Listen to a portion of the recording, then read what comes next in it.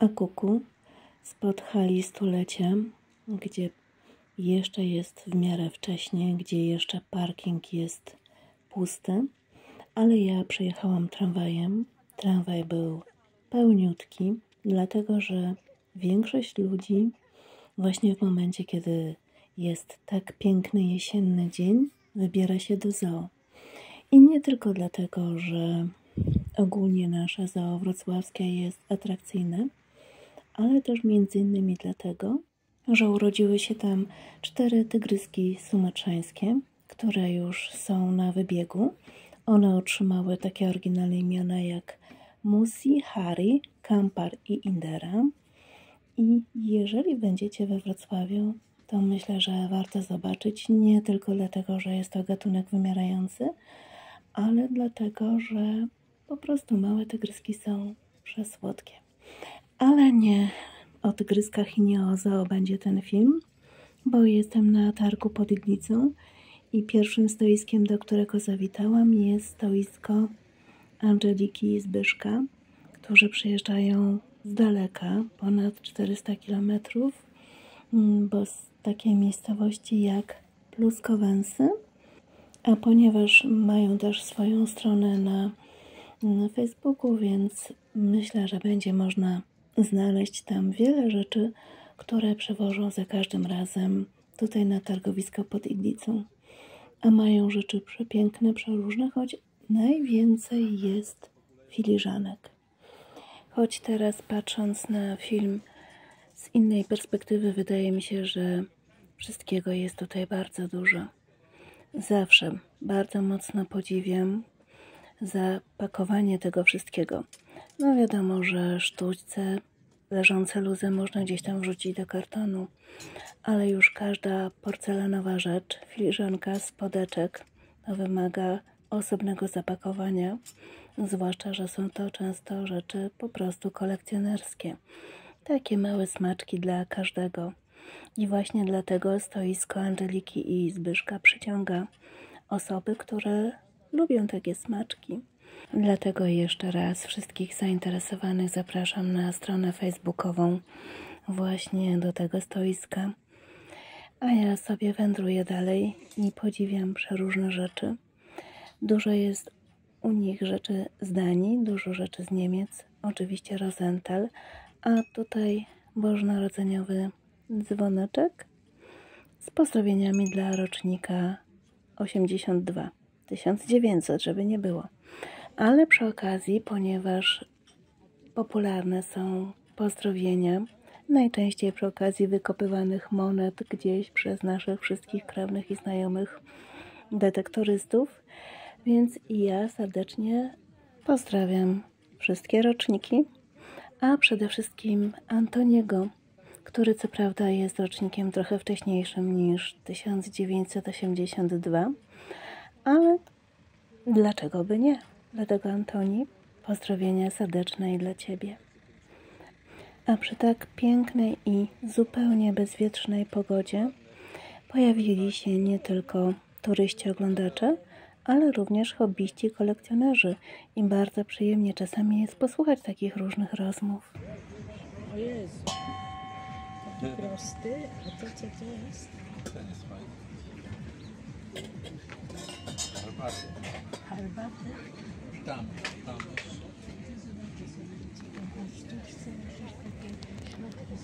To pani swojej też. No i to, tak. To co to jest zestaw? Nie, to jest. Ja też tam do Was zerkam. Razem oglądaliśmy z Perzą. Była i pani, która podobnie jak ja kolekcjonuje mleczniki.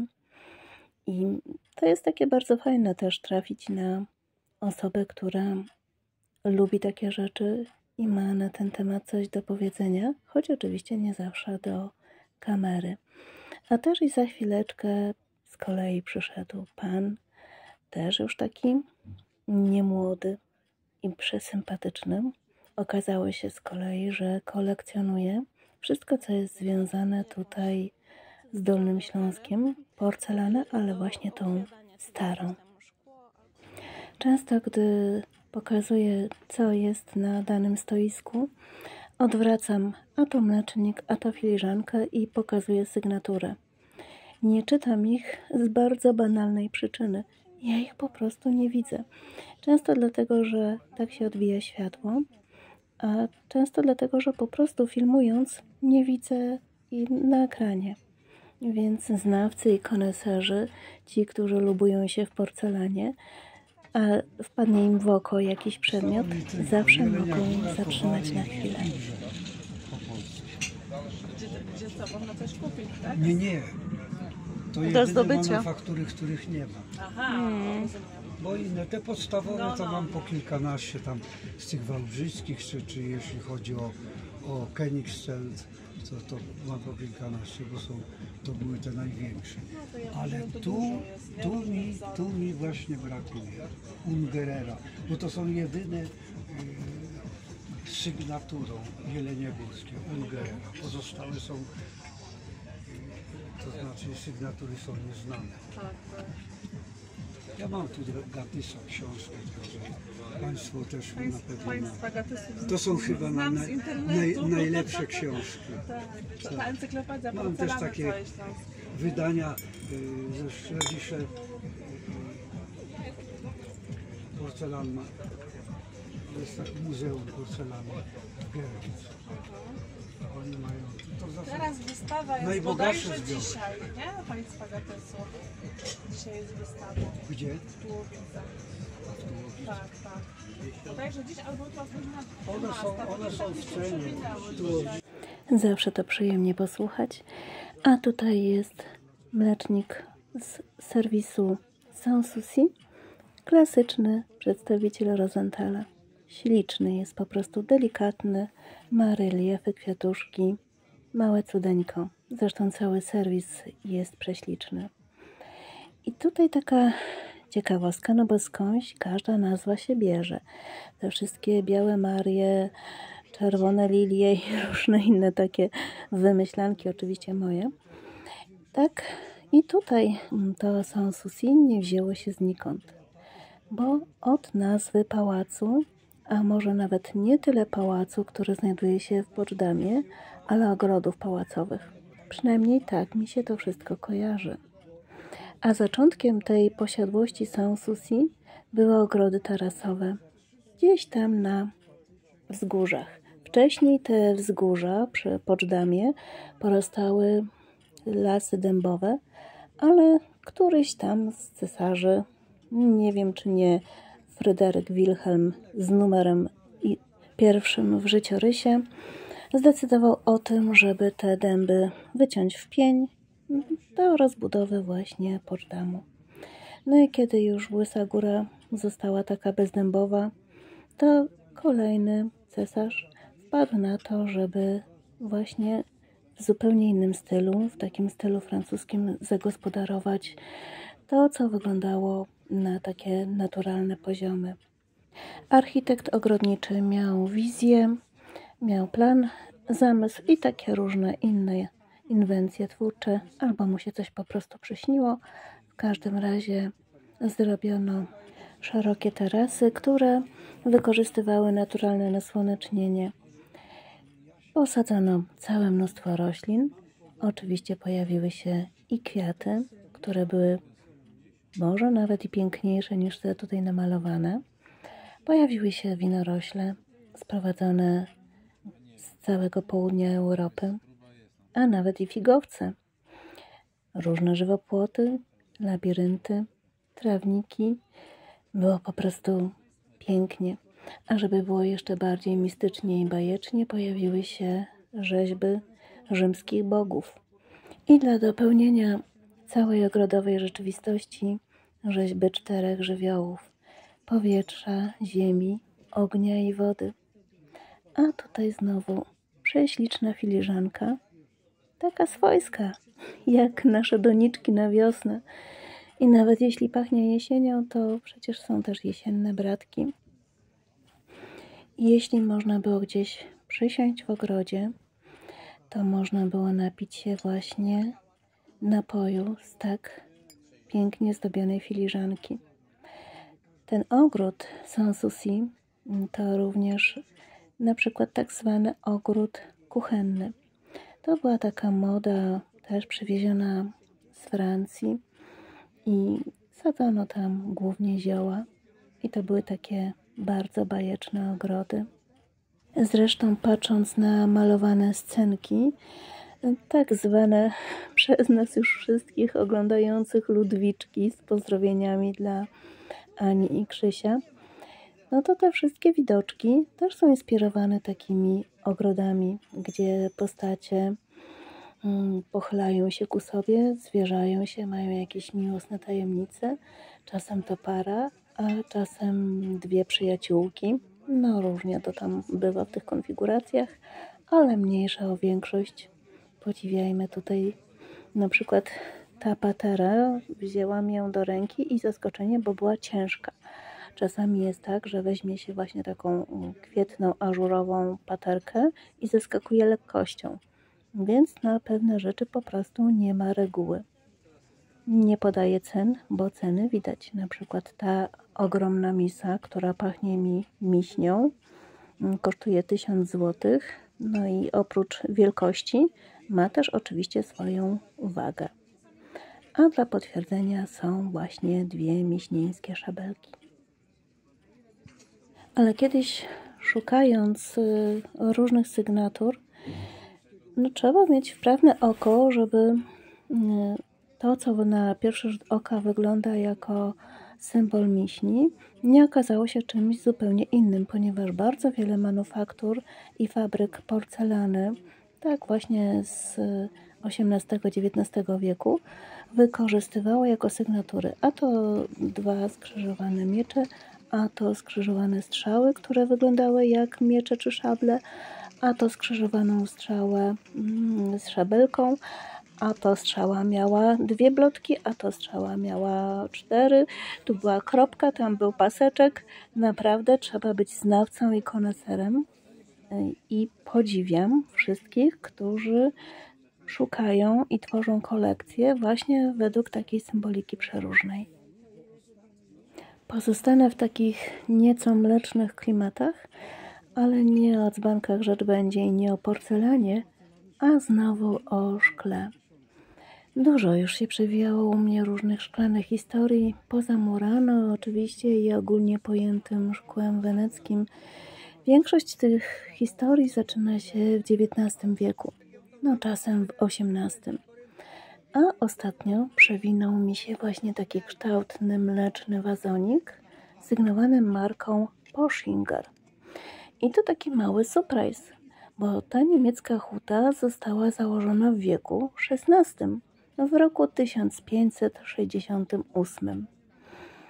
Pocztówka być może też pochodzi z lat 60., ale raczej XX wieku. No ale wracamy sobie właśnie do huty Poschingerów.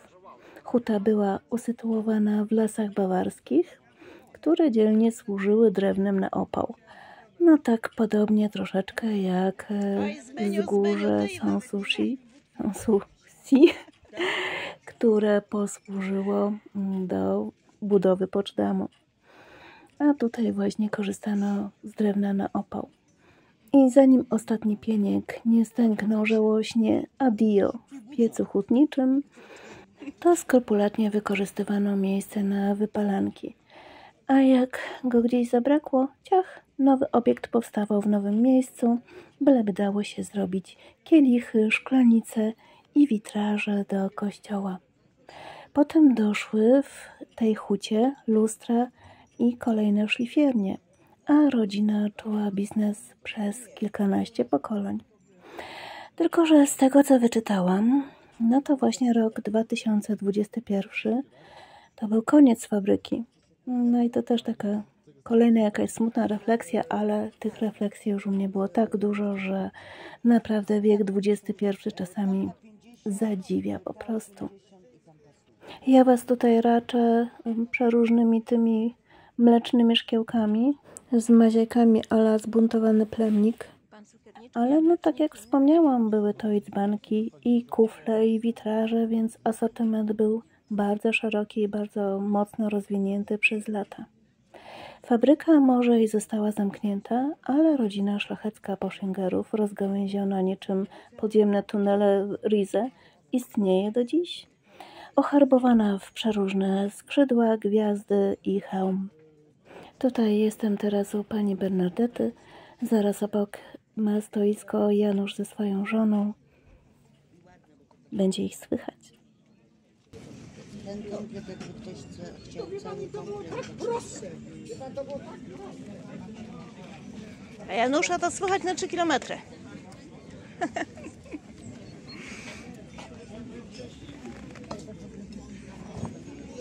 nie będę pamiętał, ale zawsze będę wołał, wołał sąsiadów. Także sąsiedzi.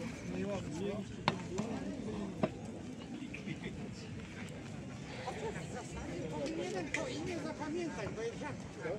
No. Druga. Jakieś lokatorkę, która miała na imię Bernadette. Ja jestem Bernadette.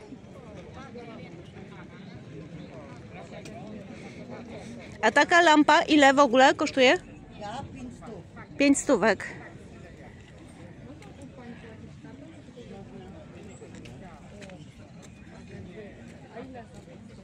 A ja tu pierwszy czyniłem cztery stów. Normalnie pięć Ale jest fajny i na pewno na lata. No. Ja go zobaczyłam i tu chciałam. Pokażę wam go w środku. Na tą chwilę nie trzeba nic robić, e, bo drewno jest zaimpregnowane, jest e, pociągnięte e, lakierem, ale jak no, po jakimś czasie, bo to się będzie wycierało, to zwykły, najzwyklejszy lakier bezbarwny i tylko zrobić powłokę i to wszystko. U pani Bernadety jest dużo takich właśnie drewnianych rzeczy. Bardzo lubię takie klimaty. Fantastyczne wykorzystanie sękatych pniaków na stoliki kawowe i nie tylko, do ogrodu i nie tylko, w zależności od tego, jak mocno są zaimpregnowane. No i coś, co bardzo lubię. Jeżeli pamiętacie mój urbexowy odcinek w starej poniemieckiej willi, w której po wojnie w czasach PRL-u mieścił się żłobek, mm, w takim nieco wojskowym klimacie, bo to wojskowe okolice były, to tutaj właśnie są wykorzystane wszelkiego rodzaju ramy, rameczki. Takie metalowe z kolei kojarzą mi się z oknami w młynie albo z jakimś innym industrialnym klimatem, ale fantastyczne wykorzystanie właśnie ramek. Można je zostawić naturalne, takie nazwijmy to nieogolone. Można oczywiście wyszlifować, pomalować, zostawić naturalną strukturę albo zrobić sobie pod kolor wnętrza. Fantazja i wyobraźnia są tutaj nieograniczone, a takie lustro no po prostu może wyglądać fenomenalnie. A teraz już jestem u Janusza i jego małżonki. U nich jest zawsze wesoło i zawsze z humorem. I choć akurat mój film nałożył się teraz z takim troszeczkę smutnym czasem u niego w rodzinie, to zawsze głowa do góry. Zawsze jest jutro. I poczucie też tego cudownego oparcia i w żonie, i w synu, i we wszystkich krewnych i znajomych królika. Kto wie, ten wie.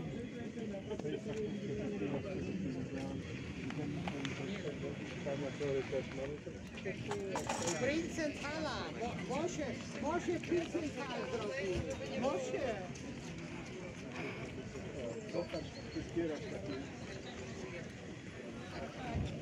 Ty słuchajcie, wy po co wychodzicie po placu? Wy stójcie tylko u mnie i kupujcie tylko u mnie. Bozia ci w dzieciach wynagrodzi pięciopokojowe mieszkanie. Po dzieciątku każdy kupuje.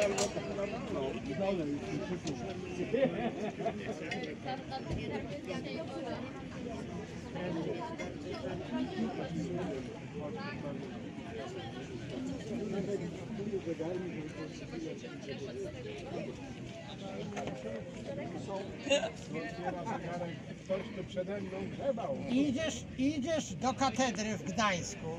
Kto ufundował najpiękniejsze ołtarze?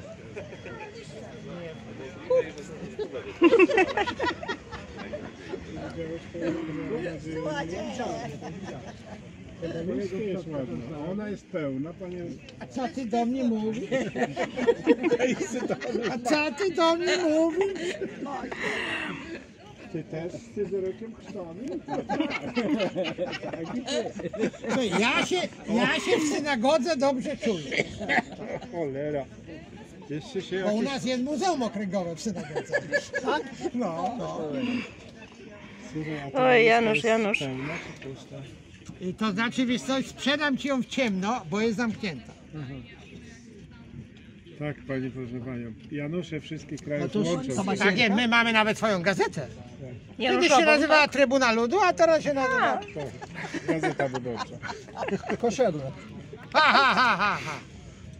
To jest ta makierka? Ta walizka?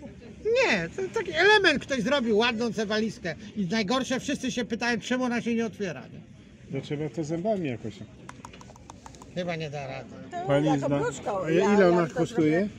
No byś musiał jakieś 250 zł mieć. Chodźmy tu, bo Mosze, mosze, no 250 zł, to nie jest 500? Nie wiem, to nie jest pani. Ale Zobaczyć można, nie?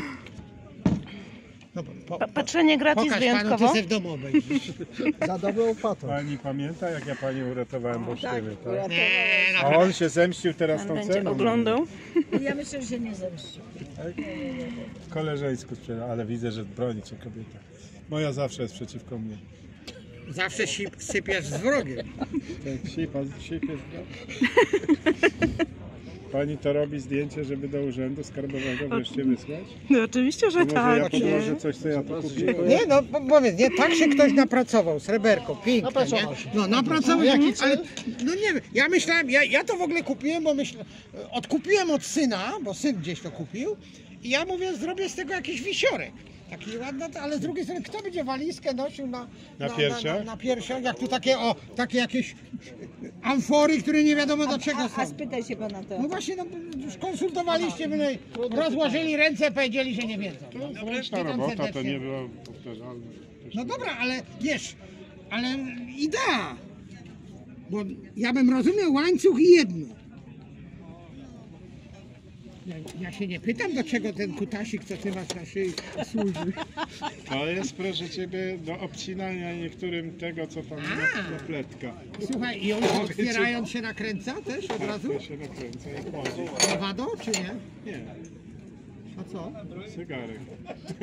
No wado jest, zegar, jest na, naz, nazwą zegarka. Nie, nie, ale jest, jest, ładny, jest no. Czy nie? Nie, nie. Bo Mo- Movado się specjalizowało w takich zegarkach. Być może. Takie portfelikowe, małe, takie były, ja mam Ale jako ja, bryloczek. ale ja jak- widzisz, teraz z- zrobię Ci przykrość. Ja to kupiłem z- uczciwie za 80 zł. Uczciwie z jego strony oczywiście. Ale ja cię aż tak Komar. nie lubię. Ja cię aż tak nie lubię. A on mnie Nie, lubi? nie, nie pożywiłby się. Nie? Nie, no chciałem go zatłuc i zjeść. Trzeba ale- było łopatą. Też cię kocham. Naraża się jednym Co? Pan, pani, jeśli chodzi o przystojnych mężczyzn, to pani źle patrzy. Ależ oczywiście. Nie przejmuj się, spotkasz jeszcze swego idola.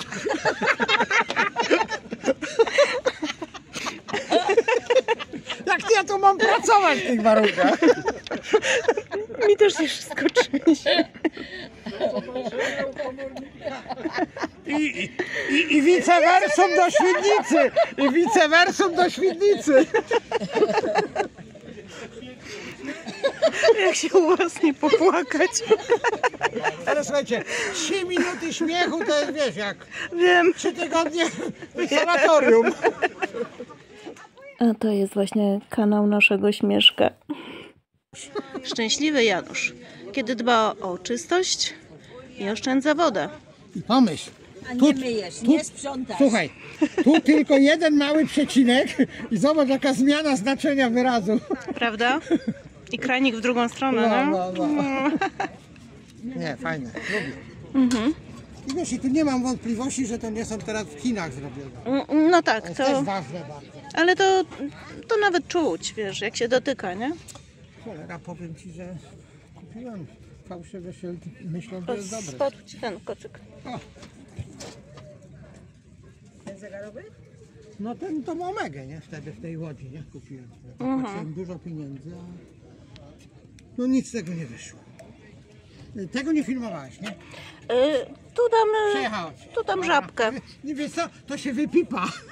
Nie, z, z reguły w tych momentach daję na przykład flaminga albo kaczkę. No to czy wiesz co, słuchaj, to jest historia. Ja nie, No. nie uważam, że, że wiesz, że to, że to znowu jest tego, ale no, nie należy tego za mocno eksponować. Znaczy, Lajka czy futera? Nie, proszę pana, cały aparat fotograficzny. I ile on kosztuje? Proszę pana, jeżeli ma pan wolne 4,5 tysiąca złotych, serdecznie zapraszam. Można płacić blikiem u sąsiadki i wtedy ona mi da gotówkę. Można podejść do tych innych aparatów? Można. No to może tam będzie coś tańszego. Tańsze na pewno, bo ten jest najdroższy, o który pan pyta. Cholera. Więc pamiętajcie, choć nie zaczyna się oczywiście zdania od więc, więc pamiętajcie, że czasem nie trzeba do sanatorium, czasem wystarczy wybrać się na giełdę staroci, żeby trafić na wesołe towarzystwo i żeby się po prostu zdrowo pośmiać. Jakaś tajemna skrzynka, na takich skrzynkach nie znam się zupełnie, za to mogę powiedzieć, że to jest pikasiak i do tego podpisane imiennie. Takie pikasiaki robiono we Włocławku albo w Kole. Już też kiedyś o tym opowiadałam. Ja osobiście nie przepadam za pikasiakami, ale one mają teraz swój ogromny renesans i osiągają zawrotne ceny. Więc warto czasami poszukać. Zdarza się właśnie, że takie pikasiaki są znajdowane no, na śmietnikach, kiedy zaczyna się sprzątanie mieszkania po dziadkach, po rodzicach, po tych, którzy odeszli. To taki czas refleksji, no bo jest listopad, początek. Kiedy ludzie odchodzą, a my ich przeszłość tak wyrzucamy bezwzględnie na śmietnik, to właściwie co w takim razie zostanie po nas, poza jakimiś miniaturowymi kartami pamięci wielkości paznokcia? Które znikną w czasie i na przykład nie będzie ich można poczuć w ręce, tak jak ten lewarek. Stary, bo stary, ważył chyba stonę, ale jest, przetrwał. Słuchaj, daj się sfilmować, może kurczę później w jakimś spocie wystąpisz. nie, nie każdy chce, ja to rozumiem.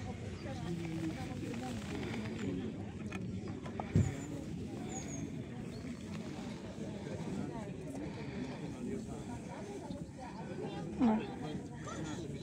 Dla mostawków. Ile taki talerz? Jak sobie wymyśli prosty wzór, może być 60. byle łatwiej.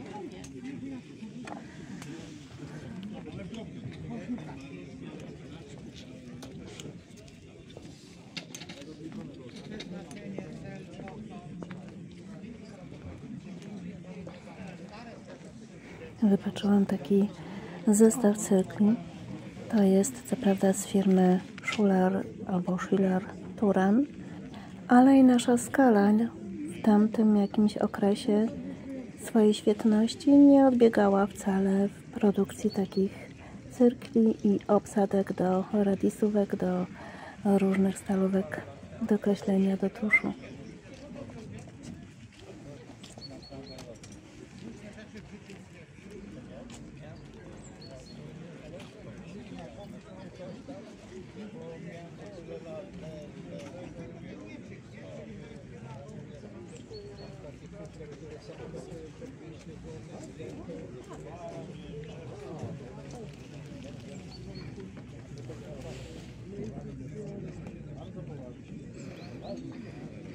Ma ciekawą strukturę.